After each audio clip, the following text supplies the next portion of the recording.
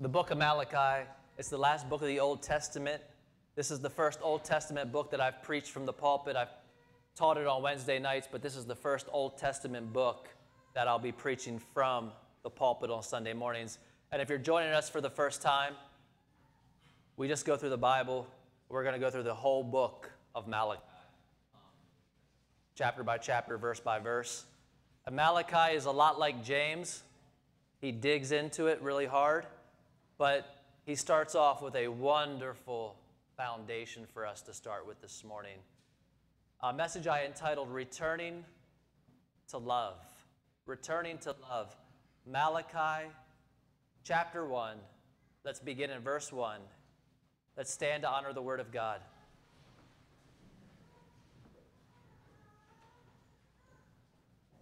Malachi chapter 1.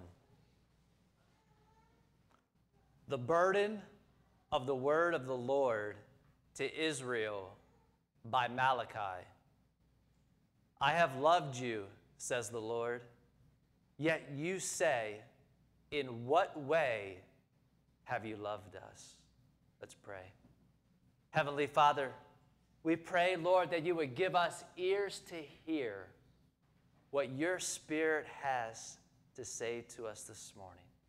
We pray, Lord, that you would open our eyes once again to just see a fresh vision of Jesus, to be refreshed with the love of Christ, the fellowship of brothers and sisters. And we pray, Lord, that we would leave this place, Lord, more in love with you than when we came in.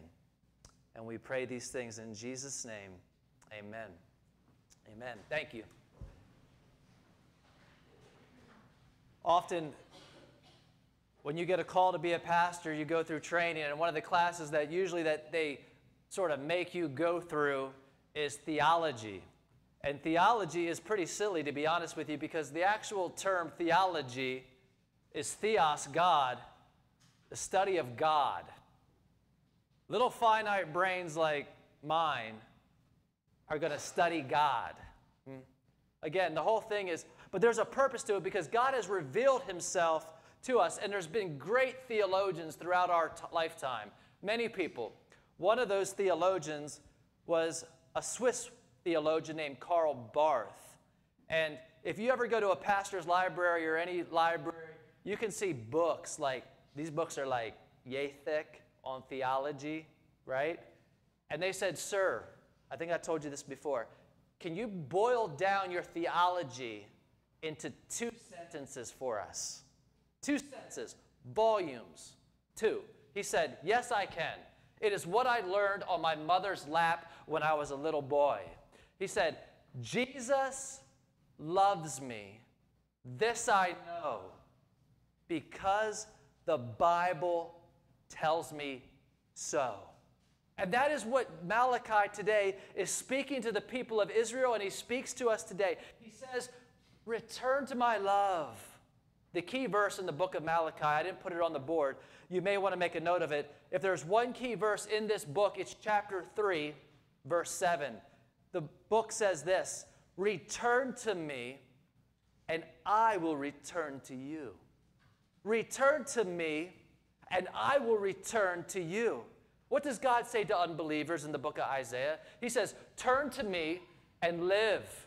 What does he say to believers in Jesus Christ? What does he say to the nation of Israel? Time after time after time after time after time again. He says, Return to me.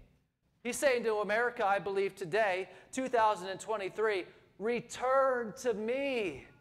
What is happening in our world? I think God is saying, Return to me. Come back to your first love.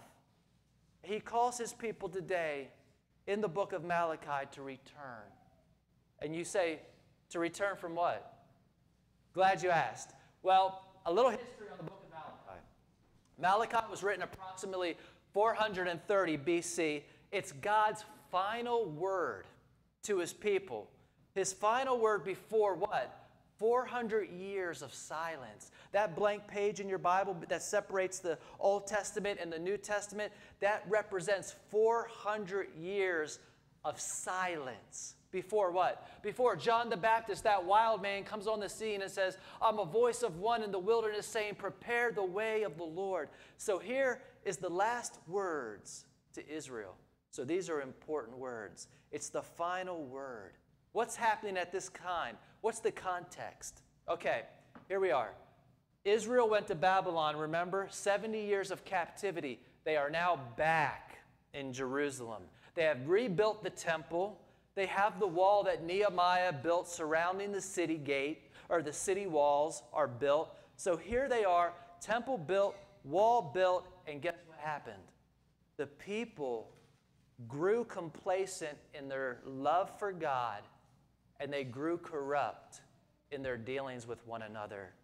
What has happened in the book of Malachi, what happens in many places today is things start to go good and then complacency is like a disease that comes in and it rots from the inside out. People just start just sitting back and saying everything is good, and we get really complacent. And the idea here of Malachi's message is the people lost their heart for God, they lost the fear of God, and what happened? They just started going through the motions. Here we go. We're just going through the motions. Sing a song, preach a sermon, sing a song, preach a sermon, come to a prayer meeting, and it just goes on and on. They had a form of worship, but they did not have the heart of worship. And God says to them, Return to me. You want a fun study to do? Compare the book of Malachi, the last word to Israel, to the last words of the church, to the churches from Jesus Christ in the letters that he pens in the book of Revelation, chapter 2 and 3. In a very, very similar message is happening in both of them. I entitled this message series called Get Serious. Malachi says, I want you guys to get serious. And it's constructed like this He has six arguments that take the form, in a, a form of a dialogue. It's a banter back and forth. God asks them, or they ask God a question, God responds, and they respond. It's this dialogue back and forth between the people and God through this book. And he says, I want you to get serious. What's he say? Get serious about what? I want you to get serious about worship. I want you to get serious about marriage. He's going to talk about that. I want you to get serious about the fear of God. I want you to get serious about giving to the work of the ministry. And today he says, in a beautiful few words, I want you to get serious about God's love. About God's love. Church, if we don't have love, all we are going to be left with is lukewarm worship flowing from a lukewarm heart, and it's just going to be a bunch of cold formalism where we're just punching in and punching out, going through the motions, doing our thing, and there's not going to be any passion, any heart behind it. Because what's the Bible about? It is a love letter to you and to me. God's amazing love. You can boil it down. It's so simple, guys. I told the worship team, this is simple today. It is simple. What does the Bible say? That God so loved the world that he gave his only begotten son. Paul said in 1 Corinthians chapter 13, if I don't have love, it profits me nothing. If I don't have love, I am nothing. What's it mean? It means you can be as theologically correct as you want to be. You could have the loudest worship team you could have. You can go do this. And if you don't have love, you might as well take the eraser and just erase it all. Guys, this is the call. Come back to love. Why do we love? Why do we love? The Bible says that we love because He first loved us. We love because He first loved us. What's the greatest commandment? I remember the kids standing up here last week. Do you remember? What did they say? The greatest commandment is to love the Lord your God with all your heart, with all your mind, with all your soul, and with all your strength, and to love your neighbor as yourself. You can just take the entire Bible and just summarize it in those two verses. Guys, it's about love. Three things I want to consider in this few verses with you about God's love. God is going to make an amazing exclamation, number one, of his love for you and for me.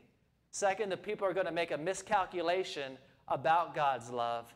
And then the third thing, God is going to re, he's going to correct their thinking about God's love. So there's an exclamation of his love, there's an evaluation, and there's an explanation. Let's get into it. This is my favorite part, guys. I hope it's your favorite. I hope if you got a pencil or got a marker, if you mark up your Bible, this is a good one to mark up today. Verse 1. You ready for this? Let this hit your heart really hard this morning. If you come in here burdened, weighed down, heavy laden, let it go. Here's the word of the Lord, not Derek's word, God's word. The burden of the word of the Lord to Israel by Malachi I have loved you, says the Lord. There it is. The God of the universe has written to you and to me, I have loved you. I have loved you. Guys, we can't forget that. We can't take that for granted. Listen, it starts with a burden. He says, This is a burden of the word. Man, he says, This has come into me with heavy heart, with heaviness. And if you've come in here heavy, do you know one thing that will lift that burden more than anything else? It's not a theological discourse on eschatology and end times and rapture. The one thing that will lift your burden today, church, is the love of Jesus Christ and the love of God for you. And God says, I have loved you. And I believe that somebody here in the congregation needs to hear that word today. God loves you. He loves you. This word here says, I have loved you. It means I have loved you. I do love you. I will always, always love you, says the Lord. That's how he starts off. Friends, this is the foundation of everything else. Before Malachi digs into correcting and disobedience and worship and marriage, he says, This is the springboard from which everything else is going to flow in this letter, this dialogue God's love. Jesus loves me. This I know because the Bible tells me so. Say that verse with me, church. Verse 2. I have loved you, says the Lord. And listen, our failures, our faults, they may bring consequences, and they do. Trust me. They may bring divine discipline, and they do. Trust me. But one thing they will not do, no matter how bad you failed, no matter how much you have just blew it, listen, it does not lessen the love of God for you this morning. Okay? It doesn't lessen his love. He loved me in the gutter. He loved me in the pew. Okay? He loved me as a sinner. He loves me as a saint. He loves me in the valley. He loves me in the mountain. God loves us, guys. No matter what I do, it's not going to waver God's love for me because God is love. I want you to hear this this morning, especially young people. There is nothing I or you could do that could make you or make God love you any more or any less than he already does. Nothing. You can't serve in a church and God's going to love you more. That's not how that works. You fail and you falter in sin, and God's going to say, No, I'm really not loving him anymore. No.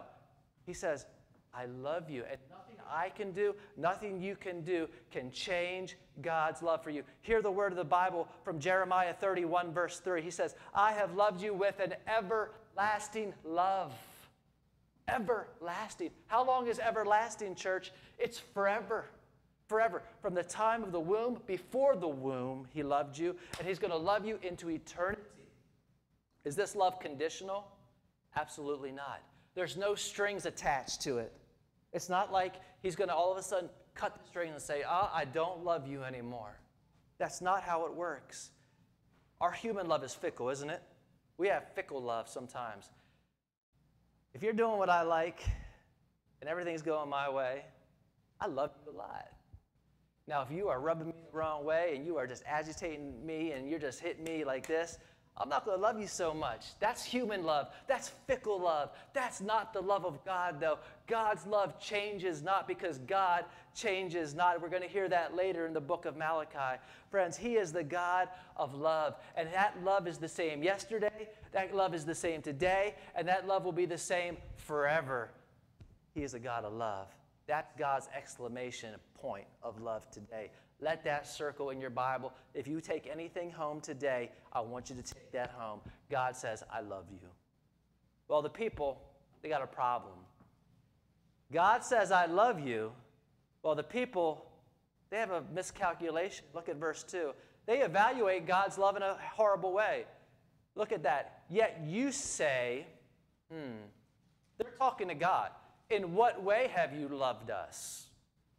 Huh, okay. Malachi's, God's talking to a very cynical, skeptical, godless people, much like today. Much like today. Here's the point, though. How many people have thought that in their head? I've thought that at times. You really love me? Like, see, we don't verbalize it like they're verbalizing, but we think that um, I'm going through this. See, the people weren't maybe having the, the greatest of time. Things might have not been the ideal situation. And they say, they look around at the circumstance, it's sort of not, not the ideal situation, and they say, I don't think you really love us because look at, look at this, look at that. How many people have done that? I think about the audacity of these people for a moment. God just delivered them out of captivity out of Babylon. He just provided everything they needed for a temple. He just had them build a wall to protect their city. And now they're questioning God's love for them. What's going on? They had God's presence, they had God's protection, they had everything they could want. Why did they question God's love? Malachi says this We need to return from looking at God's love based on our present situation, our present circumstance. Okay? Let me remind you again where we are in history. They have the temple, they are back from Babylon, they're in Jerusalem, but who's ruling and reigning right now? The Persian Empire has their thumb pressing down on them right now. Okay? The Persian Empire is pressing down, and they have a temple, but this second temple isn't like Solomon's temple. Solomon's temple was this beautiful, magnificent structure. And if you read the book of Nehemiah, a lot of the older people said that saw Solomon's temple said, This temple's second rate. This temple is really not what Solomon did. This isn't, we're, we're dealing with a second rate temple. We're dealing with, you know, not really true worship. And they were actually weeping over it. It would be like this if this place burnt down, God forbid, and everything was lost, okay? And we had to go to a barn. And we were, we were doing church in a barn. And we had people here, man, there's no stage, there's no pulpit, there's no stained glass. This really just isn't right. This is what was happening in their day, guys. And they're like, if you really loved us, we wouldn't be dealing with this. Gideon had the same problem, didn't he? Gideon, God comes to Gideon in the book of Judges, chapter 6, and he says, God is with you, mighty man of valor. Gideon's question says this chapter 6, verse 13 of Judges If you are with us, why has all this happened to us? If you're with me, if you love me, have we ever said that? If you love me, Lord, why has my spouse left me? If you love me, Lord, why did my child get sick? If you love me, why did I lose my job? If you love me, Lord, why is my teenager going down a dark path? If you love me, Lord, why don't I have any money in my bank account? If you love me, Lord, Why is all this happening? Have we ever said that? This is the trap that we can fall into when we look at God's love based on just what is happening to our life right now. And it goes like this If things are going good in my life, God loves me. If things are going bad in my life, God doesn't love me. No, we've already established God's love does not change. I said it before. We see a piece of the jigsaw. We might even see a corner of the jigsaw puzzle. God sees the entire jigsaw puzzle put together, every piece in its place. Do you know who struggled with this back in the Bible, New Testament? Mary, Martha, and Lazarus. Remember that family in the book of John? The gospel tells us that Jesus loved them. But Jesus waited, and Lazarus died, and Lazarus was in the tomb four days. And when Jesus came to him, I'm going to paraphrase a little bit, they said this the two sisters, Lord, if you really cared about us, you would have came immediately. Mm. What did they see? They saw a piece of the puzzle. What was Jesus going to do? He had a greater situation. He was going to do a greater miracle, and he was actually going to raise the dead, not just heal the sick. But they only saw a piece of the puzzle. Lord, if you really cared, we cannot look at our situation and say, God doesn't love me because I'm going through this right now. What does the Bible say? That God's ways are higher than our ways, his, his thoughts are higher than our thoughts. So if you're in a situation today, maybe it's emotional, maybe it's physical, maybe it's relational, and you're tempted to say this God's not working, God doesn't love me. I want you to know this today, church. He is working. He does love you. And I want you to know this that the greater your problem, the greater the opportunity for God to work and God to do a miracle in it. The greater the opportunity. I want to say this at the end of this, guys. Listen, we must never view God's love through the lens of circumstances. We must never view the, God's love through the lens of circumstance. We must view circumstances through the lens of God's love. Do you understand that? We must view circumstances through the lens of God's love. In other words, something's gonna, if something happens to me this week, something's going to happen to you this week, maybe, okay? You cannot say, you have to look at that circumstance through the lens of God's love, not vice versa, okay? Well, the people said, God said, I love you. Well, the people say, How have you loved us? Well, God's going to give them a little explanation now. Here comes, the Lord's going to come back on them now. This is what I want you to do. I want you to return to looking at what I've done in the past in your life. Okay? Go back to history. Go back to your story. That's what we sang this morning, right? This is my story. This is my song. Every single person in here has a story to tell. And it started, I don't know for you, but it, it started from day one. Well, here we go. Israel had a story. Look at verse uh, 2. End of it. Was not Esau Jacob's brother? Says the Lord. Yet Jacob I have loved, but Esau I have hated, and laid waste his mountains and his heritage for the jackals of the wilderness.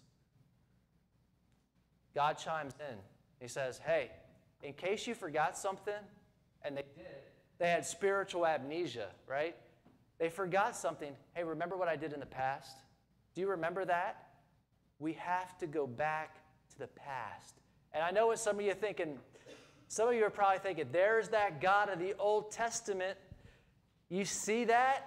He said he hated Esau. That's that mean God of the Old Testament, that wrathful, vengeful God. Put the brakes on for a second. God does not hate people. This word hate is not like our word hate, where we have this emotional hatred towards people, this vengeful hate. This is not the word that is being used here.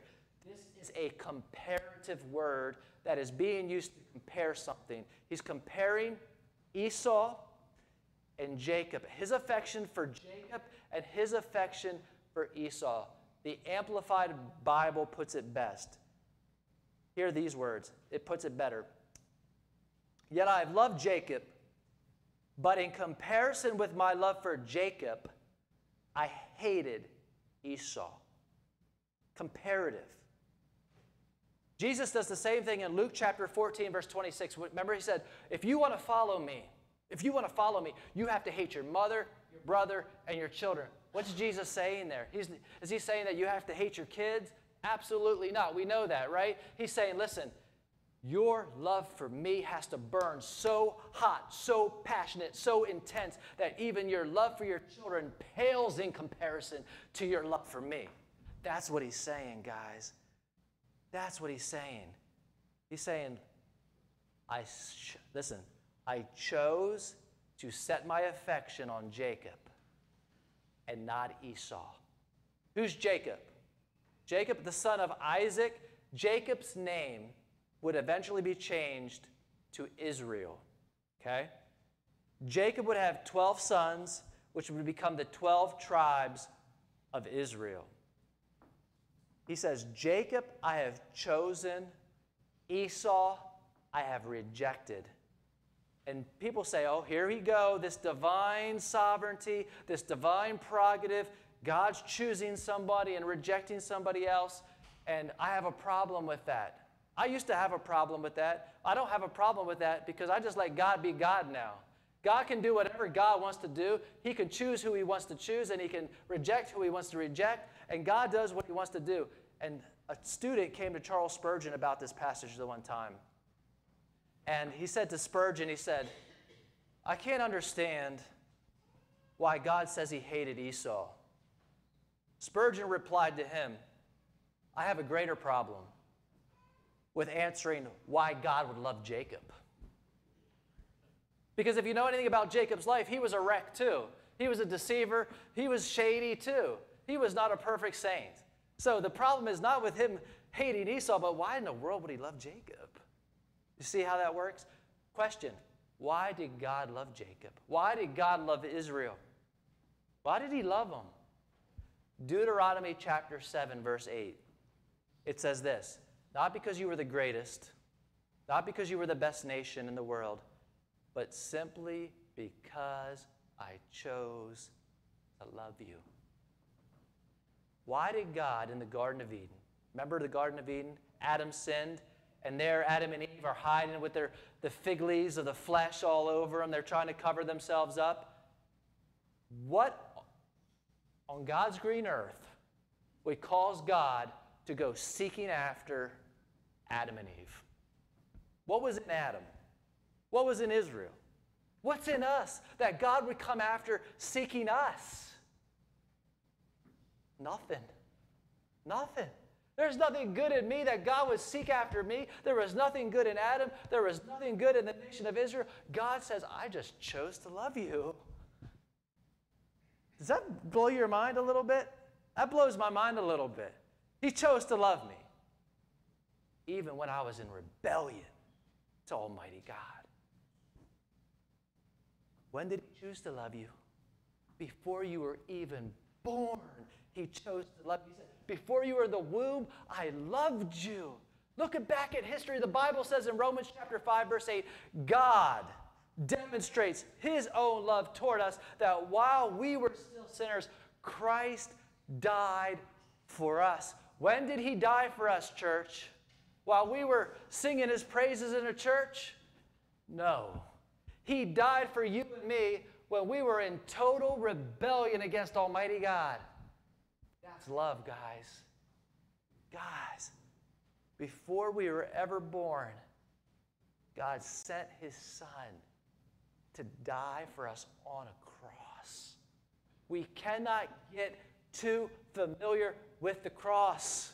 It becomes our it becomes our common tongue in the church and it should, but we familiarity breeds contempt. We become so familiar with it, it loses its power in our heart to change us, guys. If you forget that God loves you, if you ever doubt that God loves you, look at his hands. The Bible says in the book of Isaiah, I have engraven you on the palms of my hands.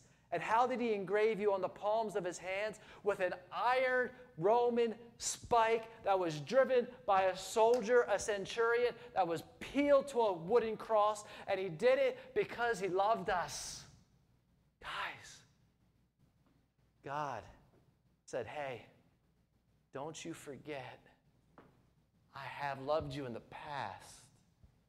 So don't take your present circumstance and say, I don't love you, because I have loved you. I do love you, and I always will love you. Somebody said this We value something or someone.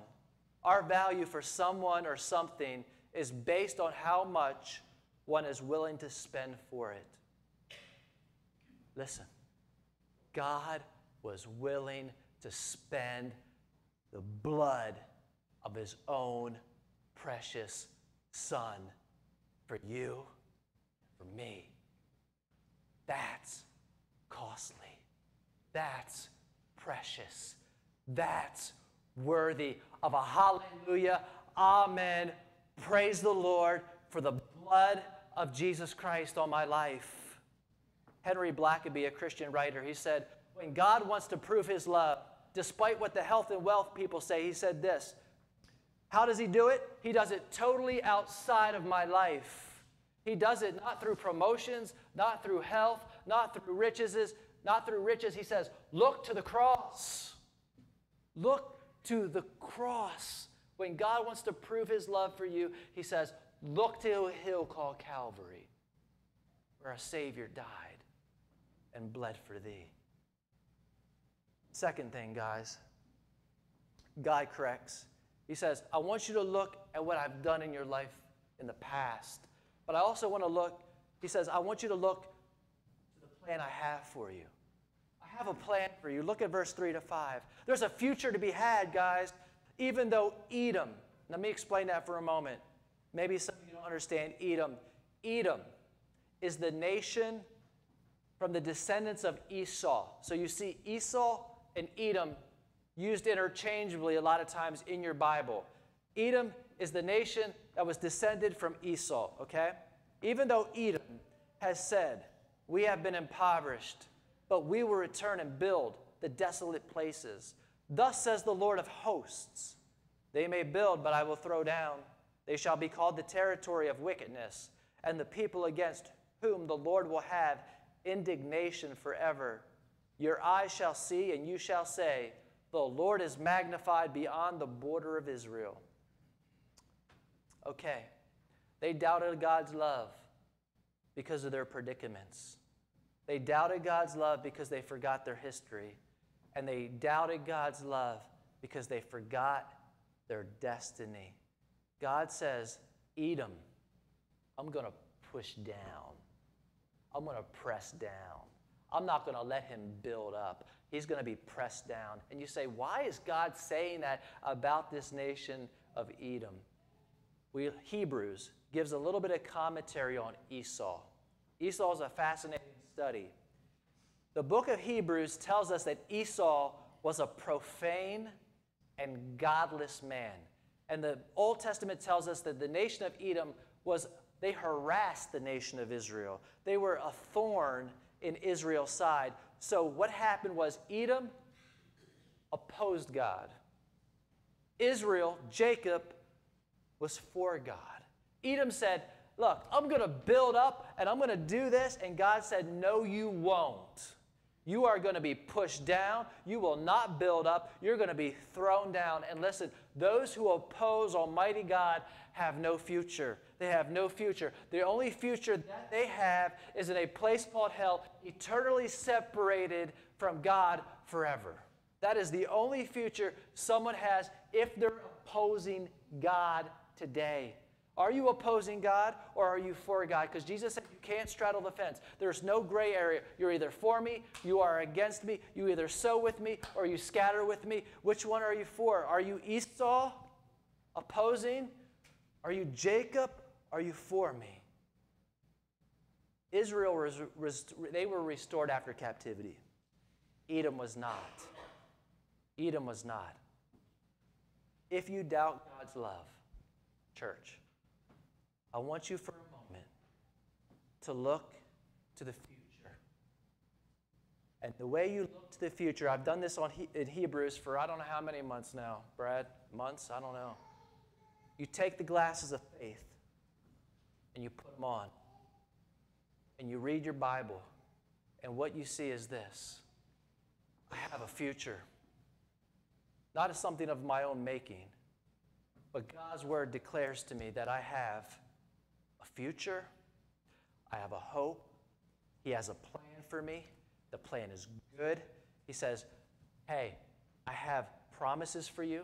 I have peace I want to give you. I have joy that I want to put into your life. I have riches that I want to give to you in heaven. He says, There's a redeemed family waiting for you. How many are waiting to see their loved ones in heaven? Amen. That's going to be a glorious day, right? Those loved ones who've gone to be with Jesus Christ, we are one day going to be reunited. You have a future there. How about that? How about this? Anybody's body's hurting today? You got a body that's breaking down? Huh? He says, You're going to have a new body one day at the resurrection. Don't forget that, church. He says, You're going to have a, a family reunion. You're going to have a body that's resurrected. It's not going to be fallen like this one, it's going to be perfect. And guess what else? There's going to be a restored universe. You see this stuff? You see cancer? You see this? You see war? You see famine? You see drought? He says, guess what? That's all going to be wiped away. He said in Revelation, all things will become new. I gave this to Travis this, this week, and I had to give it to a couple other people. People are passing away, guys. People are passing away. But here's the hope that we have in Jesus Christ, the hope of the Bible. 1 Corinthians chapter 2, verse 9. Listen to this. This is your future. This is my future. What no eye has seen, nor ear heard, nor the heart of man imagined, what God has prepared for those who love him. Can't even imagine. Can't even imagine. No eye has seen it. Think about the most beautiful scene you ever, whenever you went on vacation, it was the most beautiful thing you've ever seen in your life. It can't even touch it. The most beautiful piece of music you ever heard. Nothing. Nothing can compare to it, guys. Friends, the Bible says that whoever believes in God shall not be disappointed. God's word to us this morning. He says, I have loved you. God's work on the cross has demonstrated his love for us. And there's a future to come. The world that is to come assures us of his love. As the worship team comes up, guys, let's think about that. Just let that soak in for a moment. As we sing this song, it's how he loves us. Let the words just, let them come into you guys today. Let it go in. And I want, I want you to go out of here, especially after we come to the communion table, just stand in awe of his love. When's the last time we just stood in awe of his love? Man, I just, let's just pray it out this morning.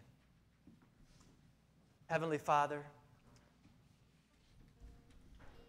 You know, Paul said in the book of Ephesians that he prayed that we would know the, the length, the depth, the height, the width of the love of God, which is beyond comprehension, Lord. Father, we thank you. Thank you for your words this morning. I think we all just needed to hear those words this morning. That you love us so beautiful. It's so simple. It, it, it's so, so we just can't even understand it, Lord. Father, not only have you declared it, you've demonstrated it, and you continue to demonstrate it in our lives, Lord. Grace upon grace, mercy upon mercy, blessing upon blessing. You pour out on your people every day, Lord. I pray, Lord, today Lord, would you just rekindle as we go through that, we begin this new book of the Bible, just rekindle our love for you, Lord, afresh. Maybe we've grown complacent in our ways. We just started going through the motions, Lord. I just want to pray that we come back to that place where our hearts again are just burning on fire for you, Lord. And that we would love you and love one another as you called us to. And I pray, Lord, for anybody here today, Lord, has not responded to that love, that today would be the day where they hear the words of Almighty God saying, I loved you like a son, I loved you like a daughter. Come to my love, receive my love, turn away from your sin and come to the Father's arms. And I pray, Lord, for, for believers today, Lord, maybe, maybe we've just grown cold, Lord. I pray that today would be a day where you come forward just to say, Lord, I want to burn fresh for you. I want my love to come back, Lord. I remember that place when I first got saved. I was so excited, and now now I'm just, I'm just cold, Lord. That today would be a day where there's a fire that's reignited, Lord. And we pray that you would do it all by the power of your Spirit. In Jesus' name, amen. If you'd like to stand and join us, we're going to sing How He Loves.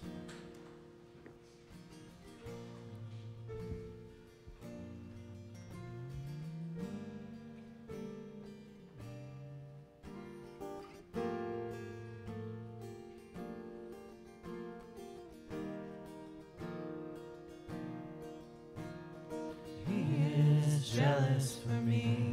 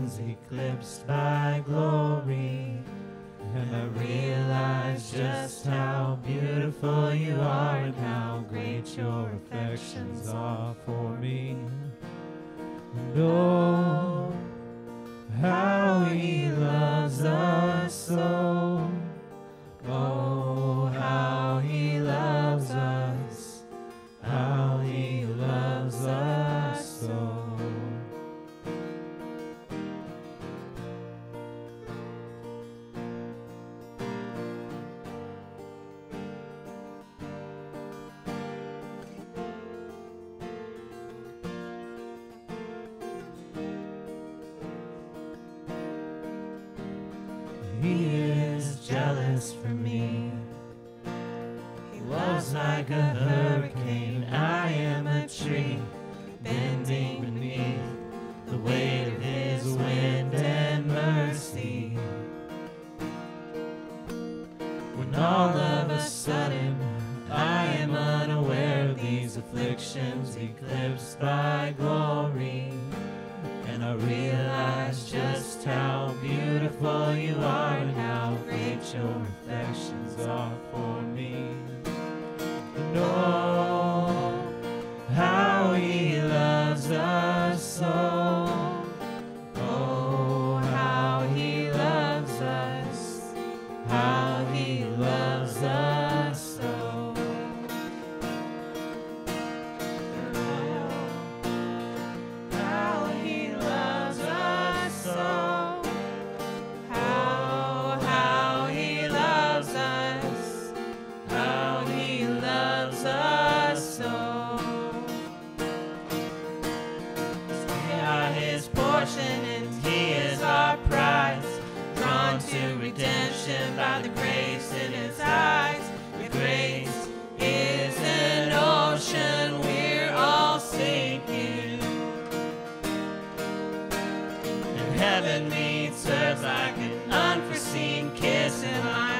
God's hand.